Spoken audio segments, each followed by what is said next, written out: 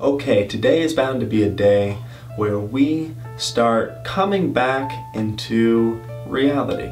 That is not to say that when we're expressing ourselves fully, we're not experiencing reality, but it's just to say that today is a time when we will have to get back to looking at what is really practical and less about what we really feel we want to express and show to the world. Now, those two could be the same, it depends who you are.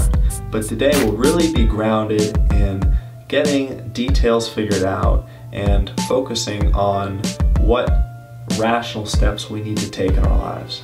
However, at the same time, we still have that lingering energy of yesterday and the day before, so there will be a balancing act here between the head and the heart, so to speak, or between the intuitive, creative mind and the rational mind.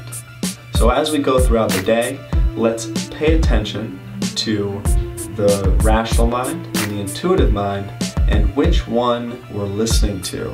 Are we going in the creative direction or are we going in the practical direction? How's it flowing, friends? Do you ever have trouble starting your day in a focused and positive way? Well, I do, and I know we all can at times, so here's one way you can start your day. Today, we're gonna do a massage that will help relax us so that we can be calm and focused as we go throughout our day. All we need to do is take our all we need to do is take our pointer finger and our middle finger on both hands and put them on our temples right here. And you'll feel, feel and you'll feel there's this soft spot that starts at the edge of your eye right here where there's a bone. And then it kind of goes back and there, there's a circle there and that's your temple. And so simply breathing in, breathing out, and going around in gentle circles.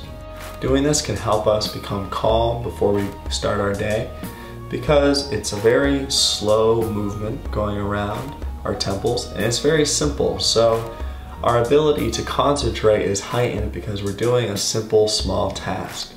So essentially if we can do this and do it a few times, then we can be more relaxed and more focused.